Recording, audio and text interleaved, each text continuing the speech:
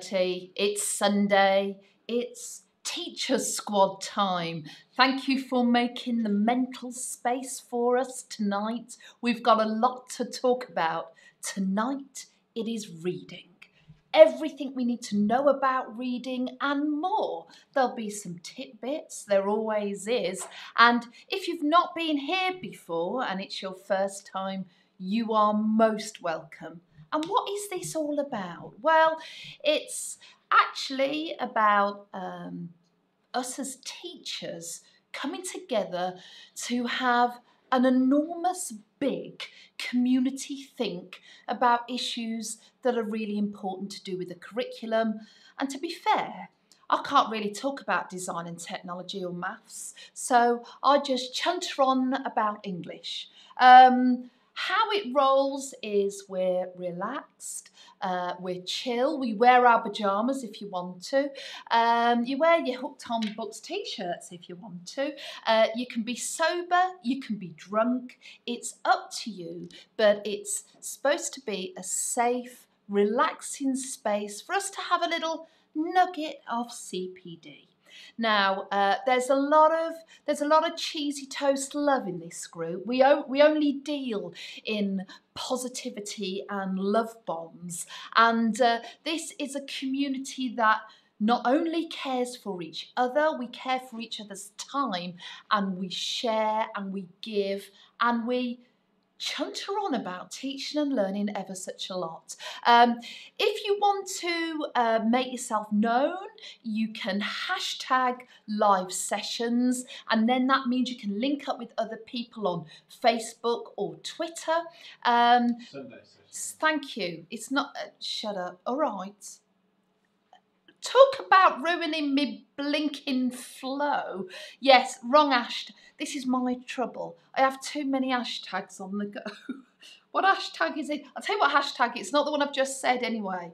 It's hashtag Sunday sessions. But just for the record, we'll put more in the mix because not only thinking, supporting, and sharing, we've got out there, you know who you are. We've got some artistic ones uh, and we've got some autistic ones, but we've got some gorgeous, fabulous, neat note takers and they share all their notes, and that is just delightful. We're a, a really caring collective you can run that hashtag if you want. Uh, and we are certainly the Think with Incas. But more than any of that, and this is really crucial, we are here because we are the magnificent, mind stretching marvels. Because, hey, we can see this like you might think we're an odd breed.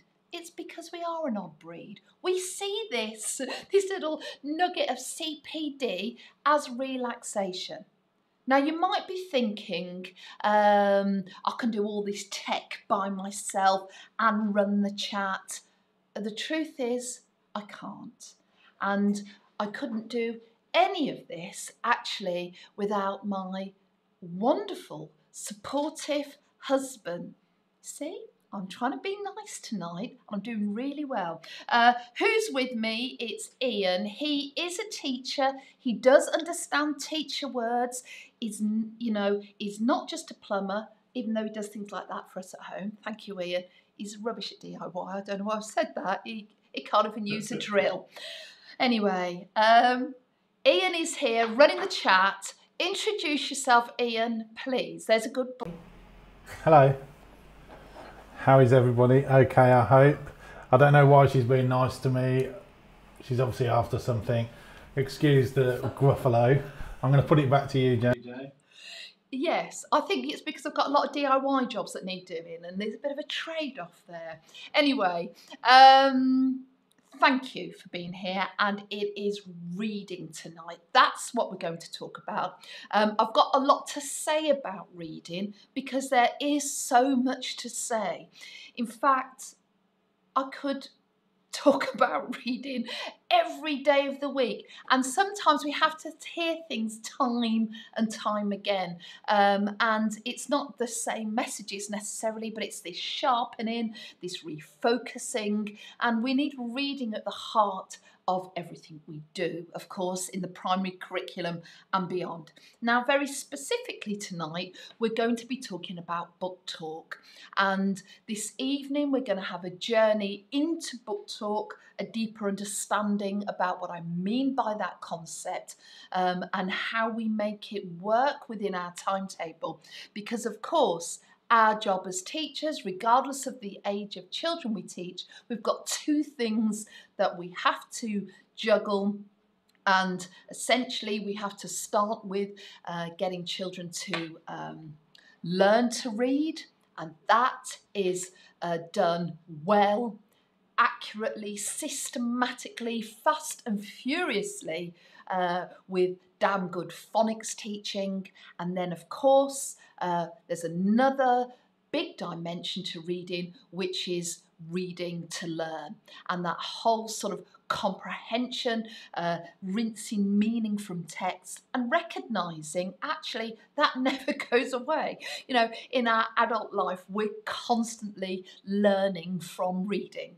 Um, and we need both of those working well in our curriculum and uh, sort of that meshing together when actually we're still kind of smoothing over, let's say, learning to read, but we're also getting them to read to learn. So it's a tricky business. Um, so we're going to explore how certain things are going to ensure that we are a, as effective as possible uh, and that is uh, where our attention is going to be. Okay. I want to mention um, schools actually, and, I, I've been to so many who do a really good job on promoting the pleasure principle of reading and ensuring right at the heart of what they do is space and time uh, to give time to a book. And we've got to make sure at the bare minimum that is 10 minutes every day, ring fence, no matter how old the children are. Uh, one of my favourite places um, to read to children actually is in the reading garden uh, at Long Buckby. Uh, and this was a, a very small quadrangle quadrangle. Is quadrangle a word? It yeah, is now. It is, yeah. it was, it's a bit of a concrete, you know, uh, space in between. Uh, it's a word. Four classrooms, and it was a bit of dead space really. And uh, the staff worked really hard to ensure it was kind of became a shelter.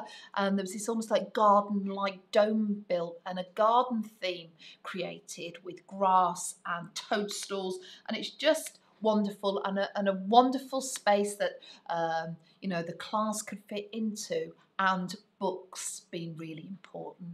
So uh, it's it's not just about the environment. We've got to get to a place that actually uh, we use these environments to put reading at the heart. It's you know books have to be the most important thing that is happening. Reading, essentially, has to be the most important thing that is happening.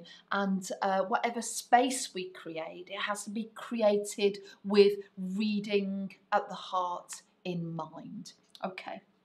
Um, some of you who don't know me, some of you know me too well and you know who you are, but everything I talk about is locked in my book, Hooked on Books. I hope you can see that. Oh, hold it up. Hold it up in front of your face, it's Jane. green screen. Okay. Um, hooked on books, but also we're really excited. Actually, um, we've not had a lot of sleep.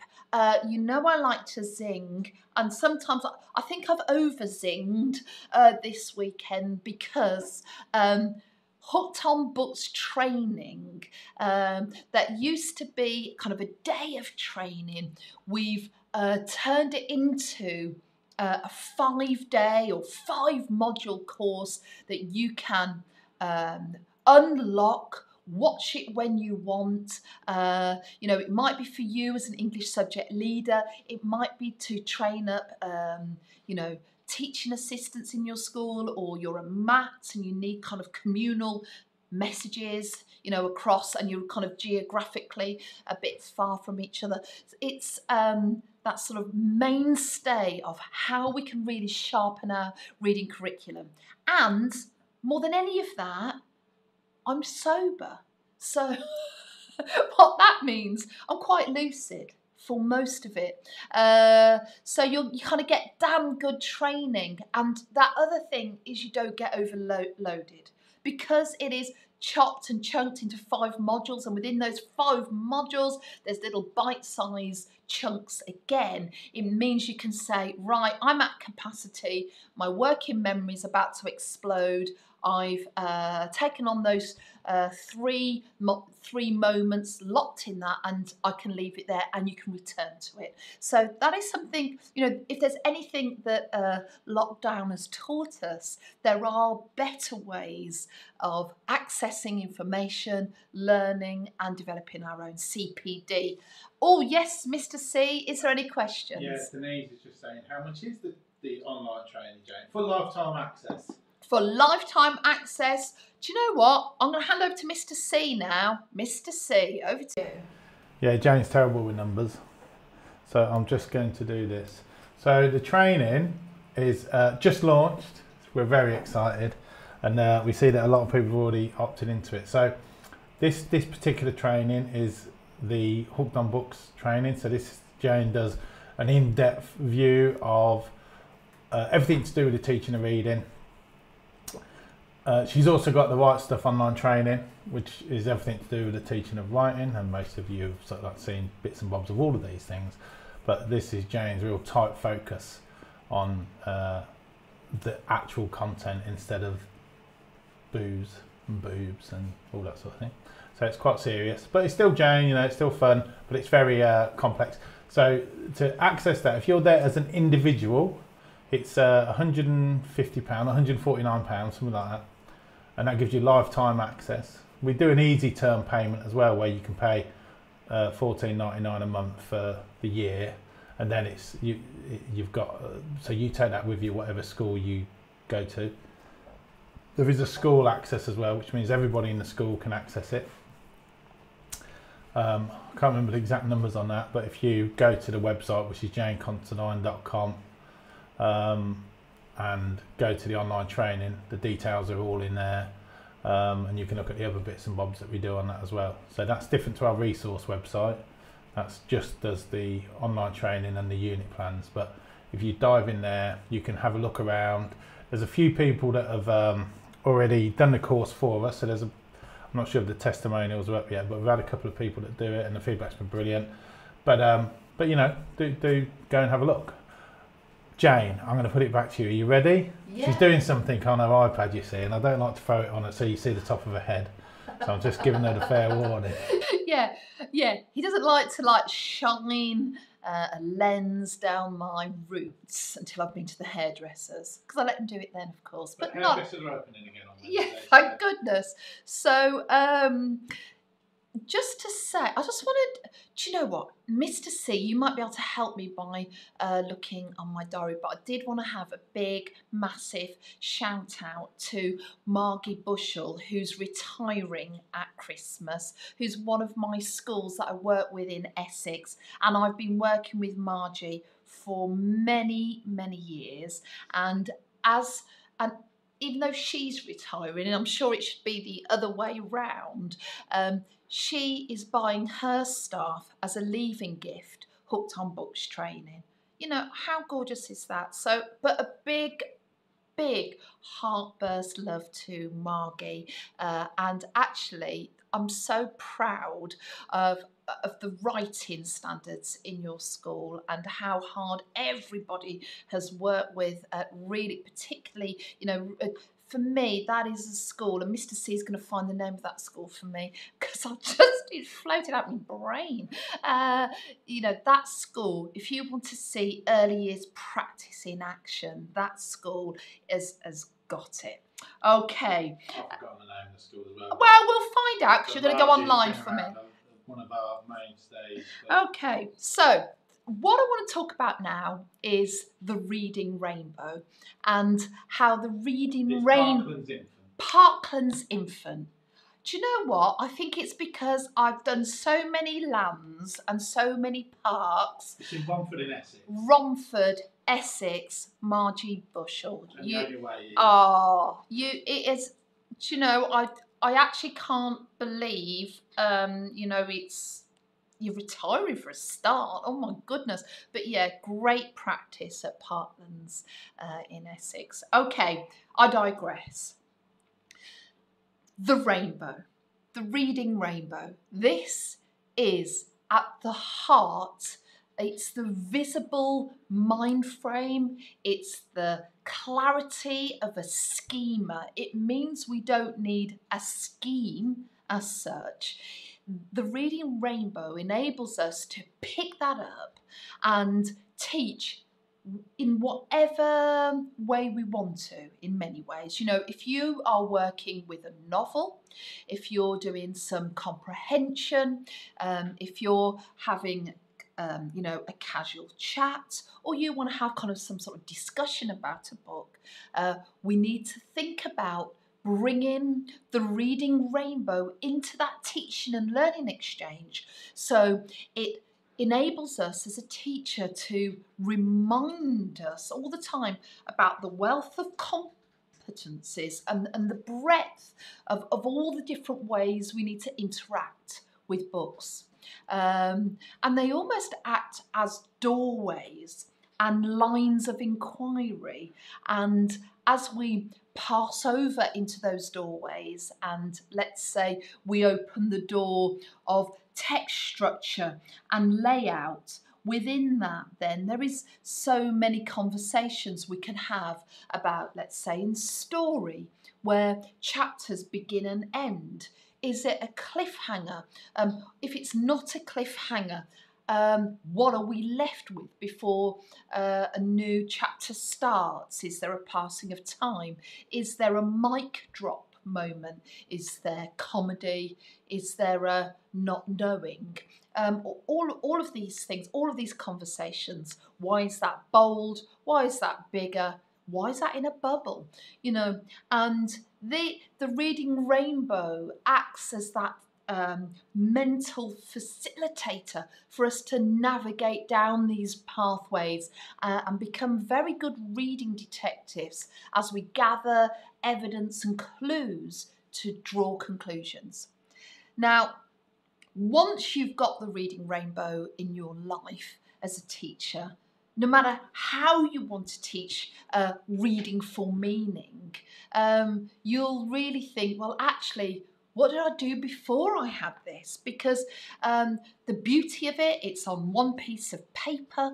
The beauty of it is we can hold it in here and it's organised into the ideas of reading there, um, the skills of reading, and the competencies of reading. And there's this real sense of um, we we know that uh, we are we know all the different lenses uh, lenses of looking, in fact, that children need to become adept in.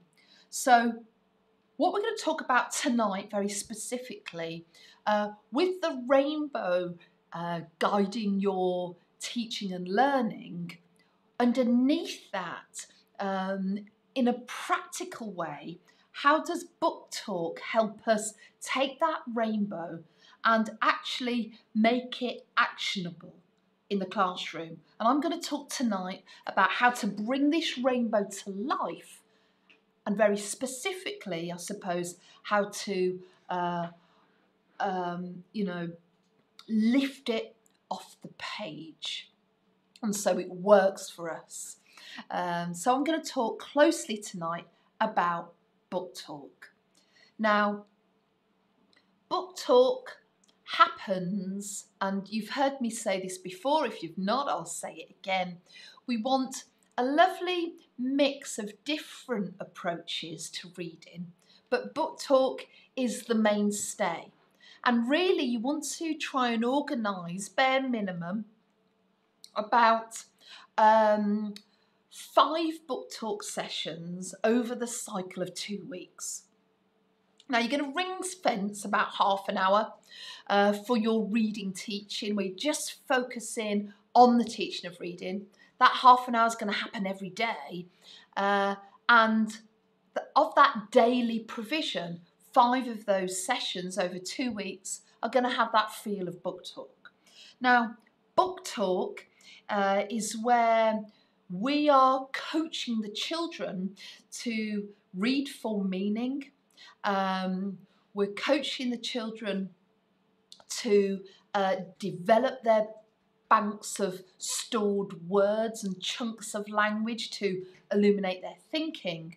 And how we organise it in our class, uh, and it's that level of instant differentiation. Um, we organise the class into attainment groups. So let's say the owls here are reading uh, Malamander. Is that how you say it? Malamander. Thomas Taylor. I suddenly couldn't pronounce that. Uh, Lights on Cotton Rock. They're the beavers. And then here, A Story Like the Wind by Gill Lewis.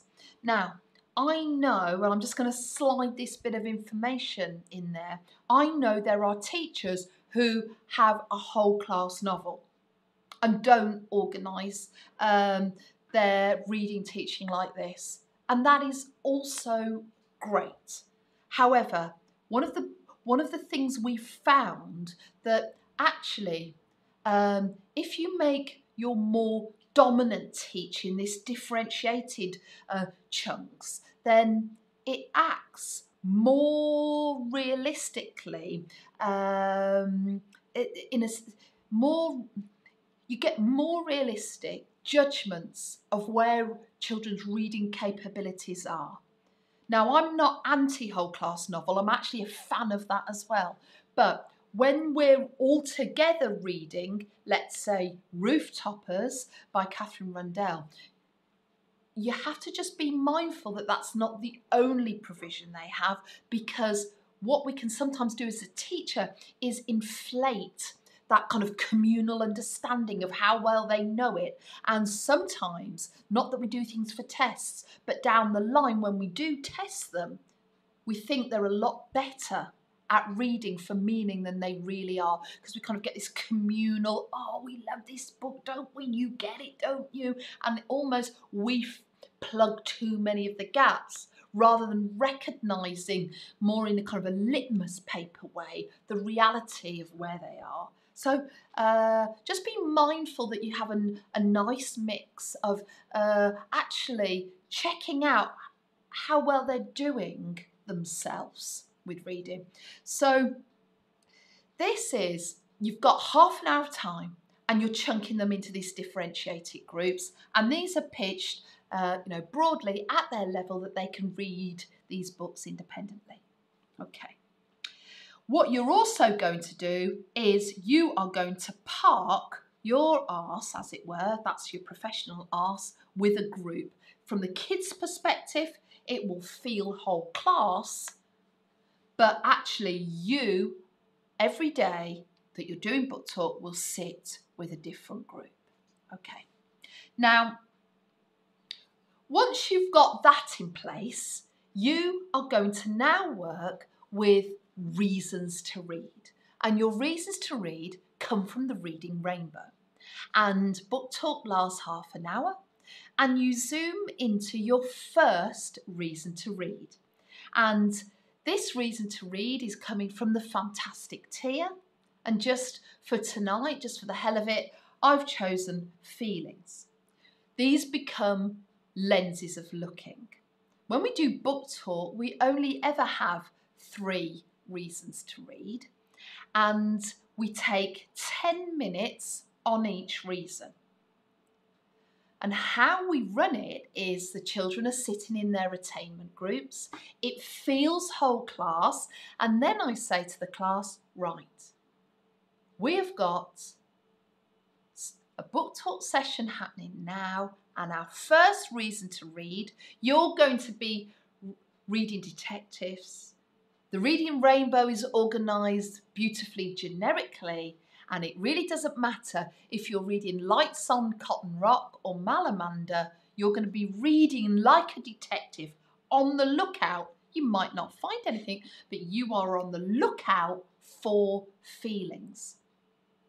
Also, bear in mind when you pick up a lens for looking, we're also getting children to have those, the very thing they're not very good at actually, that summary thinking, that big idea stuff, as they're looking for feelings. We're tuning their brains into actually, are you finding positive or negative feelings as you trawl through the text?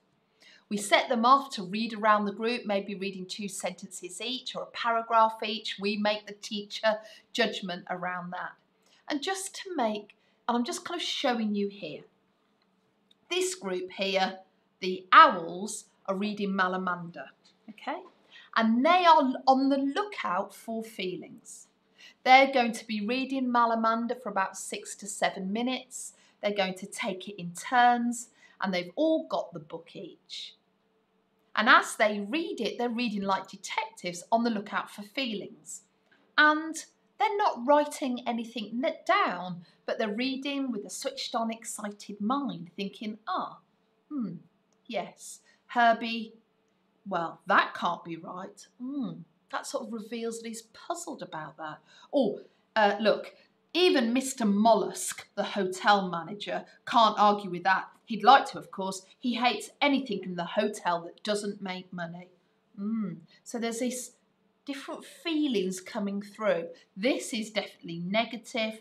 This is could go either way. So that's the owls reading Malamander. That's their reading detective brain, sort of trawling and gathering.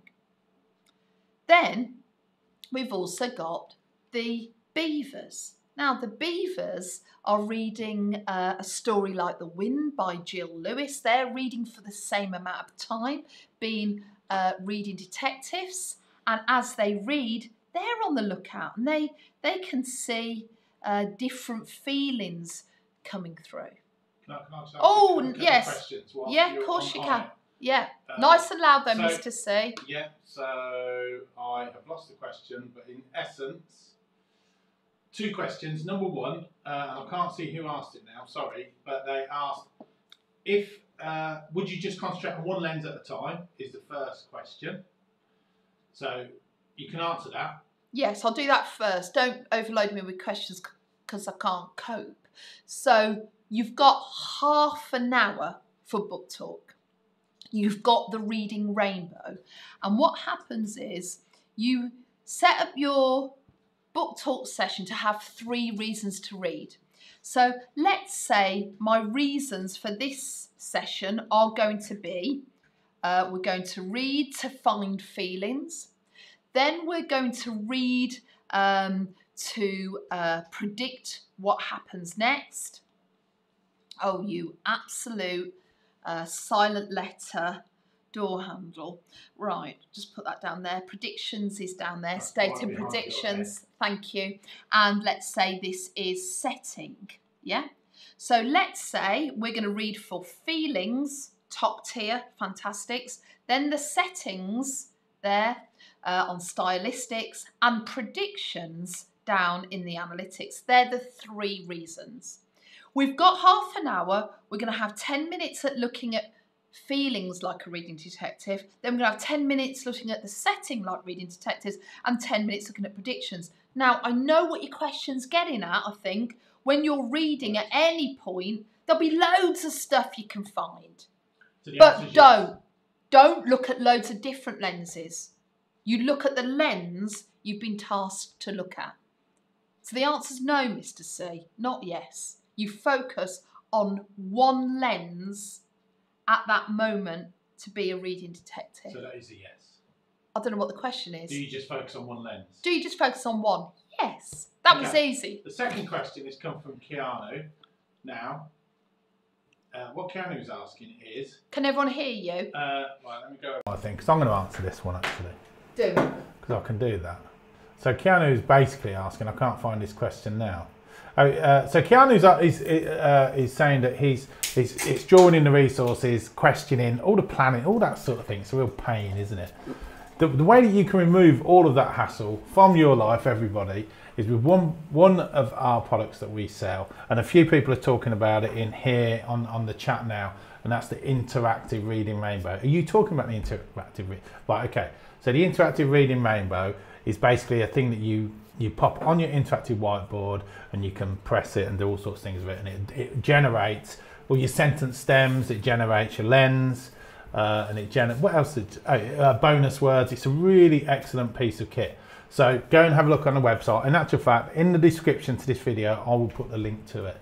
So that's the other question. The other question, Jane, that I think we should address now is because you're talking about group layout, and I'll answer this, shall I? So at the time of filming, we are going through the uh, pandemic, COVID crisis, and schools are under um, strict uh, guidelines now, and each school is slightly different.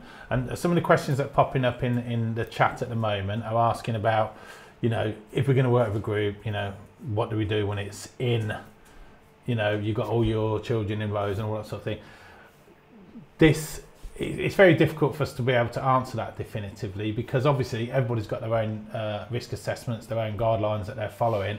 So if you've got some really good ideas, if you pop them in a chat, I'll put them on the screen uh, because, uh, you know, Jane, Jane's, uh, this system is going to be for life way beyond the uh, when the pandemic is over. So you might well be watching this when we will absolutely. All this thing might be a distant memory by the time you watch this. So I'm going to put you back to Jen. Okay, so we are taking 10 minutes out of that half an hour. We have children in attainment clumps. They have lenses for looking. And as they look at text, I mean, and to be honest, these can be organised. They can have lenses of looking if they're reading individually. They can have lenses of looking if they're reading in pairs, reading in groups, reading in rows, reading outside, reading on a different planet. You know, it's a way of um, sharpening all the aspects that children have to make comment on and be good at to leach uh, down their own meaning and go beyond the words for themselves. Now, if you look here, this group here, oh, little darlings, they've got Lights on Cotton Rock by David Litchfield. And again, they are doing exactly the same. They are finding, like detectives would. Now, there's no jottings at this moment. This is them just being aware as they read, read closely. Ah, reading closely, on the lookout, actively on the lookout for um, textual evidence for feelings. Okay? Now, once that has happened, we move as a whole class teacher and crack open that reading exchange at that moment and slice into the teaching and learning a sentence stem. A sentence stem that insists what we're trying to do there by slicing in that sentence stem, we want them to talk a comprehension answer that is sophisticated, formal, and extensive. So, this there's two components to this uh, that are really critical. Number one um, and this is me here in the classroom uh, under first reason to read, uh, using the lens of action. And I'm about now to introduce the sentence stem. I've not told them what it is yet. I'm going to tell them and I'm going to write it down. So here's the sentence stem for feeling. A positive, negative emotion that is revealed is, and I'm going to insist, insist rather, they all use that, whether they're reading Lights on Cotton Rock, whether they're reading, um, you know, Malamander, whatever they're reading, they're going to use that sentence stem. And then I'm also going to insist that they use a high utility word. Now, this high utility word is, and, and we've got to recognise high utility words we can broadly organise into two camps. Camp one, uh, beautifully ambitious, but very context specific, and they tend to be high order words for story. You know, words like dilapidated, silhouette, uh, gossamer, you know, those sort of words. And then there are these other high utility words that have high leverage, very, very powerful. Very powerful to be good at non-fiction writing, very powerful to be good at reading comprehensions, um, very, very powerful for test situations. And these words are more generic. And they are our mainstay when we're trying to explain ourselves.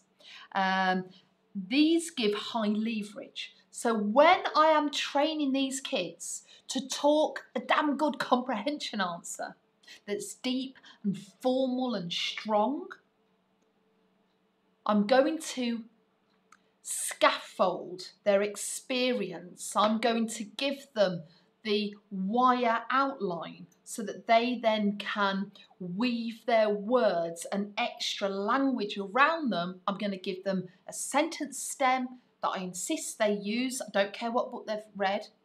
In fact, I don't care if it's a whole class novel, they're still going to have a sentence stem. And then I'm also going to insist that they use a beautifully generic high utility word. Mr. C, are there any questions? And can you go on camera so people can hear you? okay. I'm Good boy. gonna ask a question on camera. Yes, just Okay. so people can hear the question properly. And then I'm going to flick it straight back Good to you. boy. So there's a well, there's a comment. So, um, right, Miss G has said I found the high utility words have really improved my children's reading answers. Simple but effective. So that's a comment from Miss G. Um, oh, there's my poster. It's the ghosts. Um, right, uh, Joanne Hancock said she's finding it really hard in year one to use the reading rainbow. Uh, she spends a lot of time reminding the children of the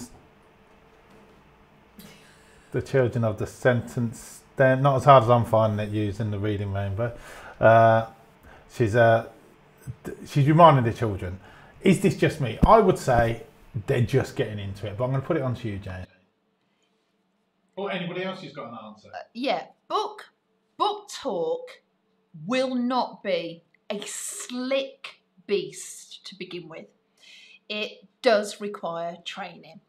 But a lot of that early training with book talk, remember to as well keep your sentence stems much simpler when they are younger. But we've also got to be quite insistent because they'll get excited about books and you have to say, right, I like what you're saying, Aaron, but can you say the setting is interesting and then tell me what you were saying? So it's almost like you, it's, don't worry that there's loads of reminders. The other thing, you know, if you want kids to be really good at it, there's, you can give them points. You get one point for using a sentence stem.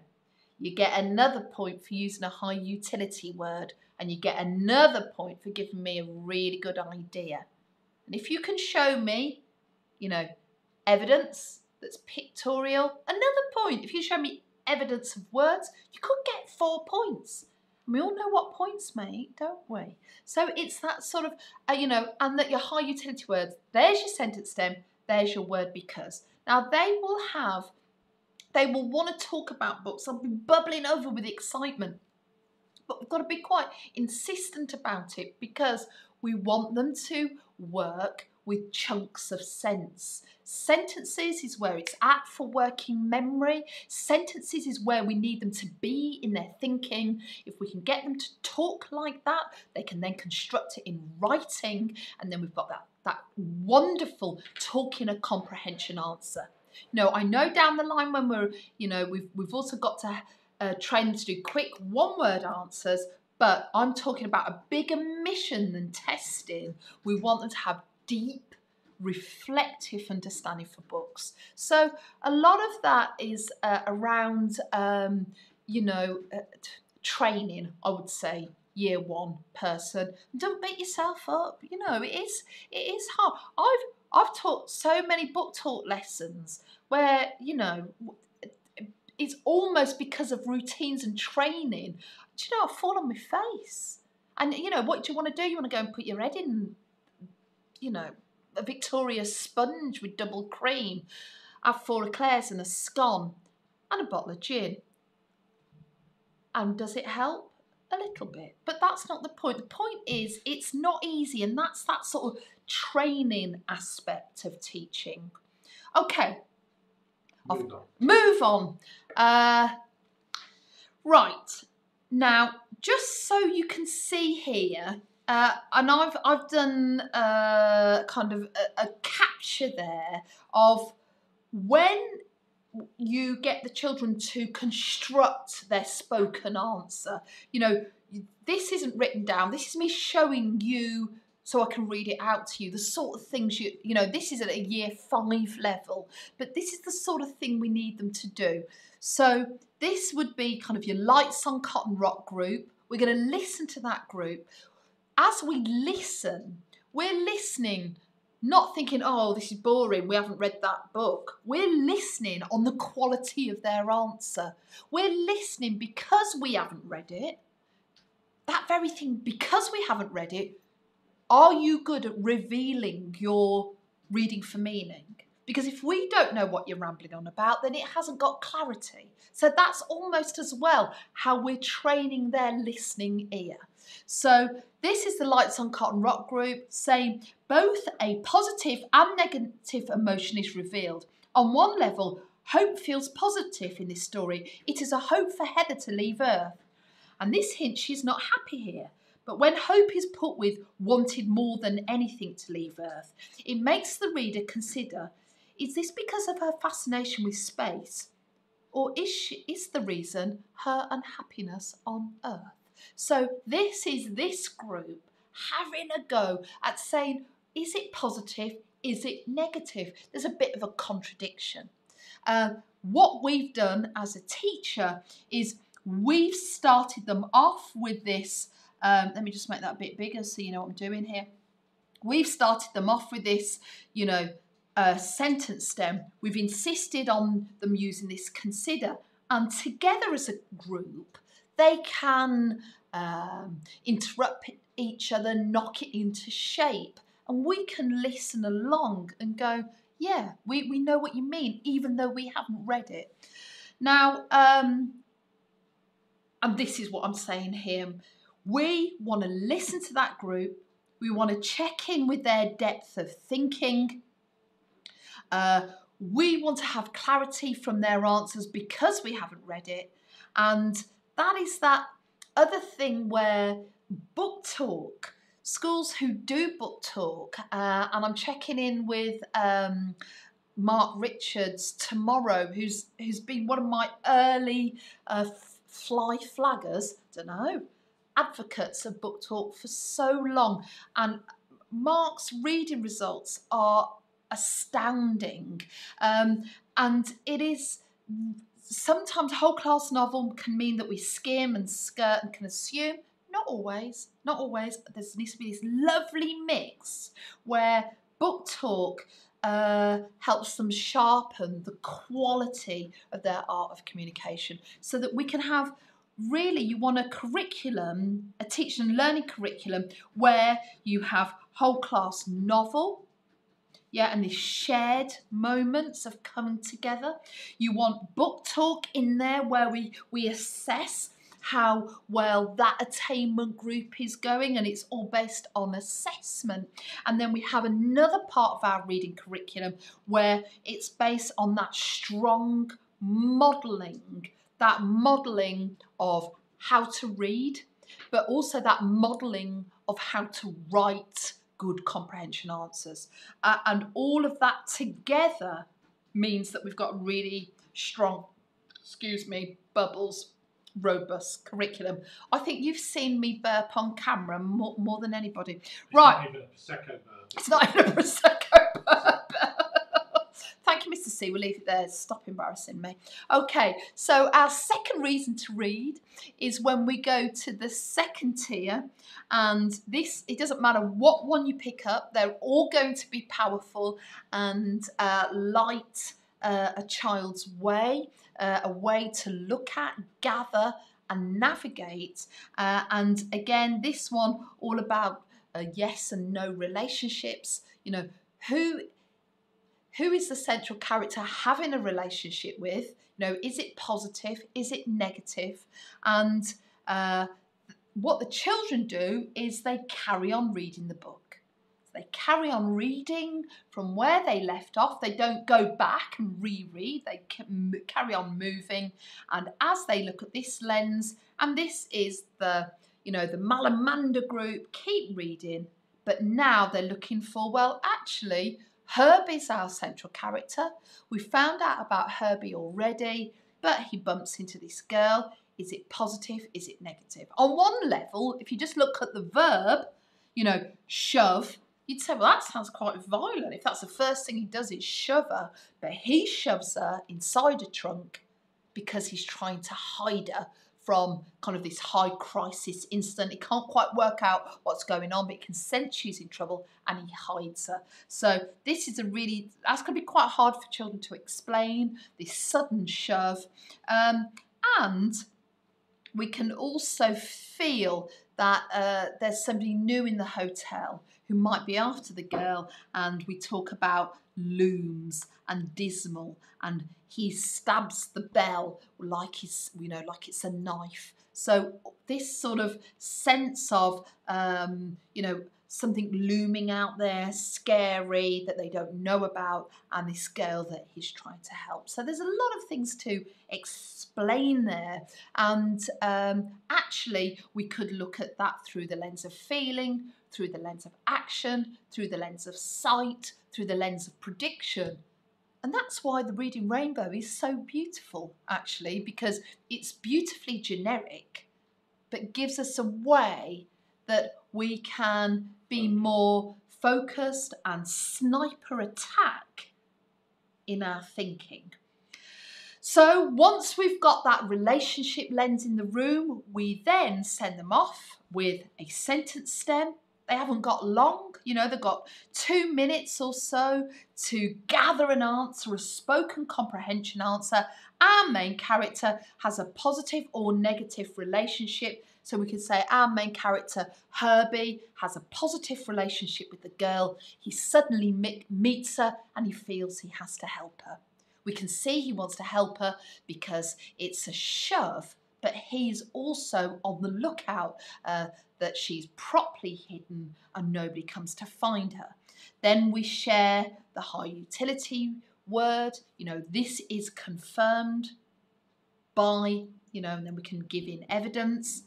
And why we want children to use these high utility words is because words like confirmed, reveals, suggests, hints and others. And if you want your own collection, download the Book Talk bonus words. There are fiver on the Training Space website. Uh, we need kids to have more words, not less words. They need to build up their stored words, and we need them to be word hoarders. But I want them to be word hoarders where they know not only what they're collecting, why are they collecting these words, and why are these ones, these beautiful generic ones we use in book talk, so powerful for thinking? Because they are the ones where you can talk about nuance and subtle, subtlety and contrast and the direction of your thinking. And this is why you need these, and these are different from uh, words you might need for story. So that is really crucial that children understand that distinction, that these word hoards are our illuminating thinking words. Okay. And this is an example now of, you know, what they'd say, giving their feedback, using the word confirmed. Her urgent entrance and lack of talking makes Herbie realise she is in trouble. This is confirmed. And we're like, oh, Beavers, did you just use confirmed? Wow, there's a point. This is confirmed when he shows his empathy for her crisis situation because he helps her by the shove to put her quickly in the trunk. That would be a classic four point book talk answer. They use the sentence stem, they talk about their book in detail, they use the high utility word, and they include evidence. Boom. Yeah. Okay. every book talk session, we move to the third reason to read. We're down now in the analytics down here, and this is where we're picking up some of the trickier stuff. And this is all about personal opinion. What do you think about the book? And now, um, so for example, the this group that's reading um, oh, the Gill Lewis book, um, A Song Like the Wind, we're asking them to draw out what they think about it, uh, things they've noticed. Is it positive? Is it negative? What bits do they like? What bits don't they like? Um, and often when I work with um, assess the author or have an opinion, I talk about stickability. There will be words, there will be phrases, there will be pictures that you kind of that that you stick to, that they feel sticky to you, your brain sticks to them, you feel a connection with them. And that stickability is will be different for different children, uh, for different ages, and that is about um, when a book talks to you? And, and where are where are those sticky moments for you as a reader? Um, again here uh, we're going to ask the children to use this stem. The writing was effective ineffective when? We want them to use the high utility word emphasize and we're insisting all the time on this language of comprehension a bit like the teacher earlier who's teaching year one. They will want to uh, slip out of using the language of comprehension because it makes it harder for them to build. It's easier for them to pick up all the le Lego bricks and put them together how they want to. But we're actually saying, no, we want you to follow the Lego instructions inside the pack. We want you to build a Millennium Falcon. A Millennium Falcon that is that detailed and rich in talk. I know you want to build a giraffe with a boat arse, but you're not allowed to do that today. I'm insisting you build the Millennium Falcon of talk. And these are the instructions. And just as you're trying to put that piece there, I'm going to ask you to put this piece there instead or add in extra um, Lego bricks of talk for you to construct it in this way that is more formal, that is more sophisticated because I want you to build up uh, your strength in how you think and talk about books. Okay, so here now, uh, again, we've got a really good answer where they've used the stem, they've used the bonus word. The writing is effective, particularly at the moment the fellow travellers are described. The text is loaded with negative language to emphasise the trauma of the situation. Also, the author talks of the refugees in the boats as ghosted by the moon, and this death themed figurative language means they are presented as a homogenous group, not individuals. Now, for Book Talk to work, do I have to give lots of spoken answers? Yes. Does Mrs. Gibb have to give lots of spoken answers? Yes. Do I have to showcase when I'm quoting from the text using air inverted commas? Yes. All of that. Um, do I have to give them more language chunks, not less, early on? Yes. And it isn't going to happen quickly or easily. But the wonderful thing about the Hooked on Books approach is that we do it in talk, and then when we do demonstration comprehension, and I'm going to talk about demonstration comprehension next week, and I'm going to talk about it in relation to non-fiction, so that's coming next week.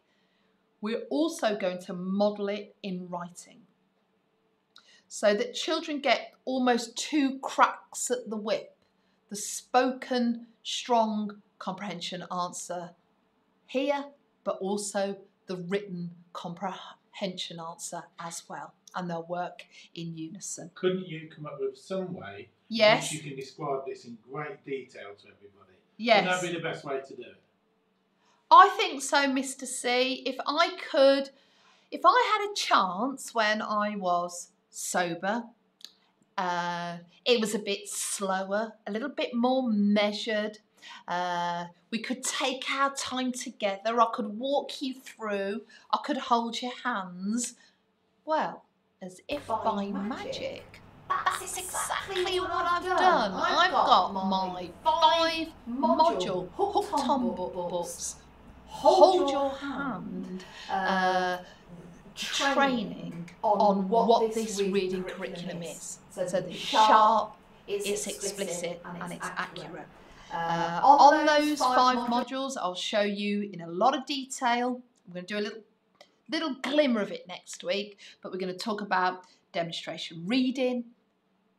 I'll get you to really understand demonstration comprehension.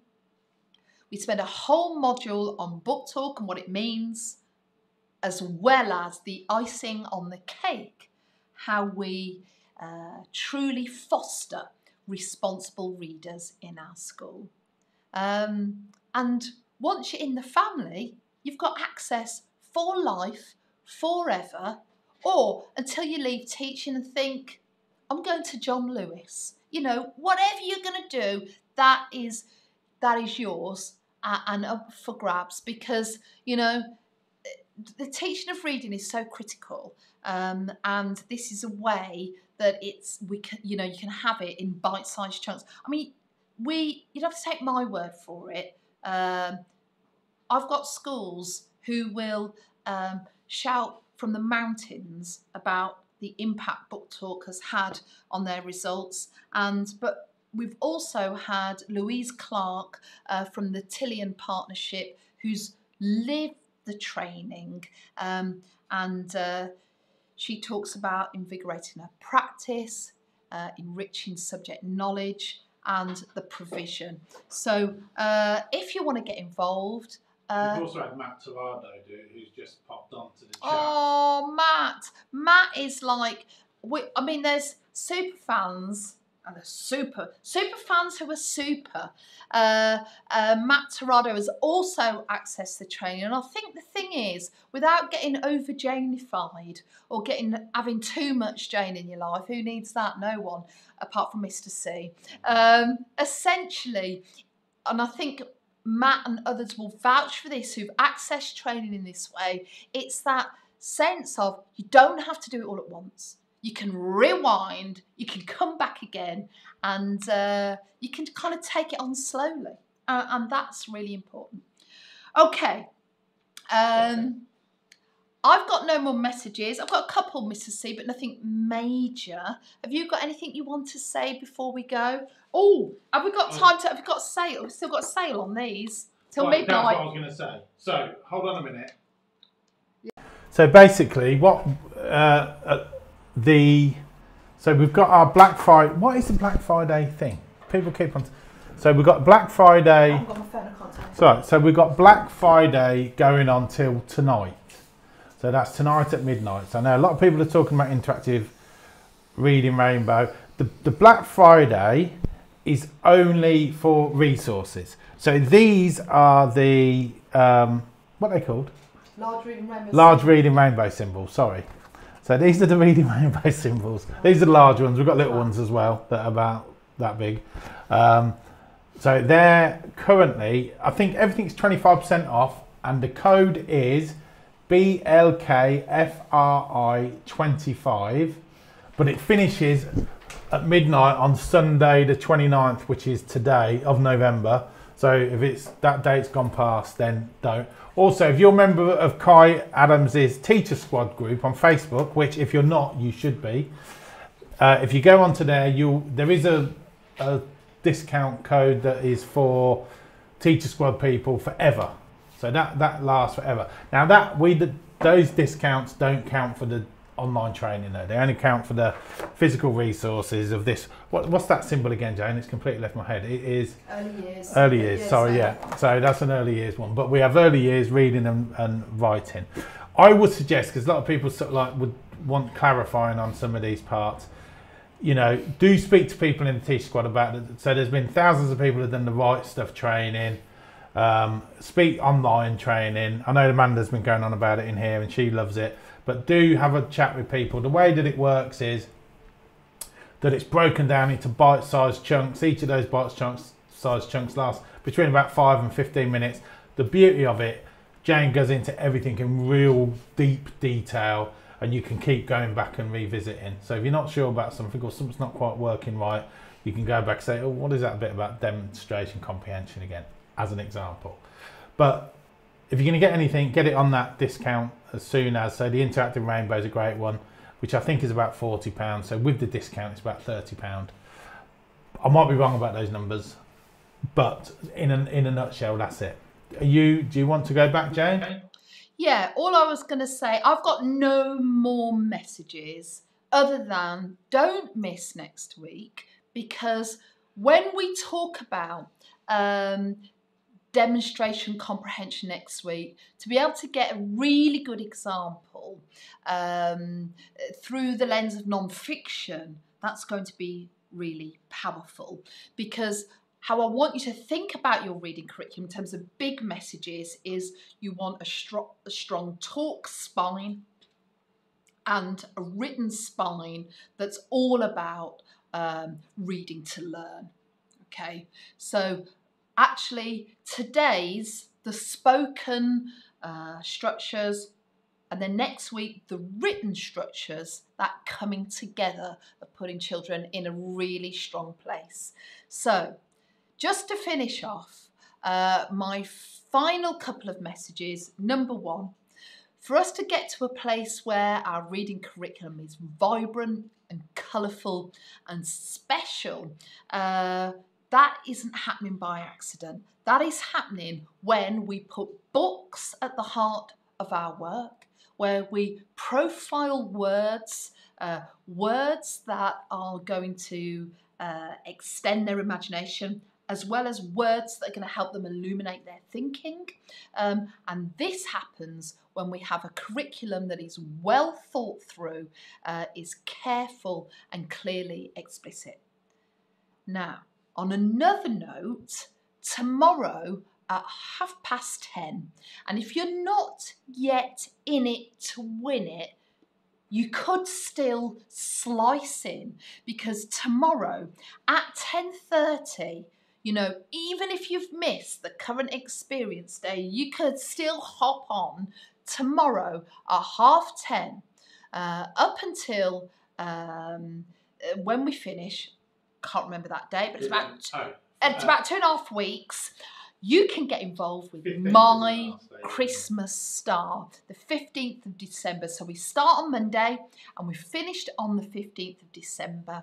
Uh, you can go and download the My Christmas Star unit and log on to YouTube, get involved, and at 10:30 I will teach your children.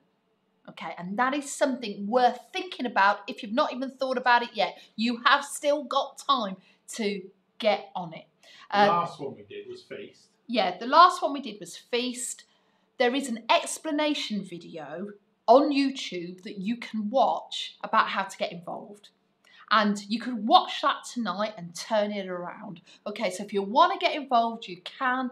And even if you don't do it live, I know there are lots of catcher-uppers who go, right, we're going to do it the following week. Okay, so there are things you can do to kind of slice in. Um, this is my final big up uh, to my gorgeous home slice, Mrs. West, who posted on Twitter uh, her Clean Bandit showdown hoedown. Uh, they were doing uh, aerobics, they were doing singing. Tell me what they weren't doing. They were dancing, they were moving, they were grooving. Probably rewind the singing. They were singing in their head. Uh, but essentially, they did all of that because they know uh, that symphony is the backtrack to My Christmas Star BBC advert, and they've used that as an immersive experience to draw down from the song lyrics all this musical themed language, and you can see it there on her board. She's got Rhapsody, chorus, pitch, melodic choir, and more. And she's going to get her children to think about running some of this language as an ongoing stretch metaphor through the writing. I cannot wait to read that. I'll see uh, Mrs. West and Darwin class tomorrow at half 10. I will see loads more as well. Uh, we are going to have a special appearance from uh, Grandma Fantastic. So that's exciting, but I don't know when. And uh, I just want to give all the teachers a big fat heartburst who've already got involved. And I will meet you and your kids tomorrow at half 10. Thank you, everybody. It's always a delight. Um, sleep well tonight. We've got a big My Christmas Star Day tomorrow, and I'll see your children then.